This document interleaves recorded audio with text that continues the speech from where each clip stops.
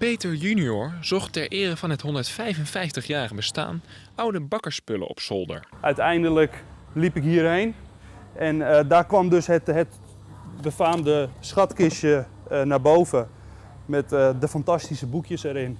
Ook opa Piet is maar wat blij met de vondst van zijn kleinzoon. Ik ben er ook trots op dat hij zo, eh, zo eh, erin gedoken is. En dan zeker zo'n ontdekking gedaan heeft. Dat maakt het extra interessant. Maar liefst zes generaties verder lijkt de bakkerij in niks meer op het winkeltje van 155 jaar terug. Wel blazen ze de oude receptuur nieuw leven in. Elke maand een koekje uit het boekje. Het koekje wat, ik, wat, wat me meteen eh, fascineerde was de Helderse mop. Met SCH, Helderse mop. Ehm, het is de simpelheid van het recept. En eh, het is ook nog een koekje wat mijn vader nog gemaakt heeft. Dus ik vind het ook wel leuk om dat weer nu te vertalen naar wat er nu gebeurt.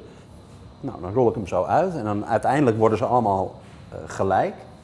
En wat het recept ook aangeeft, is dat je dan met een rolstok het koekje een beetje indrukt. Vervolgens wordt er suiker overheen gestrooid. En uiteindelijk snijden we hier het koekje van. En binnenkort dus verse oude koek bij bakkerij Dunselman.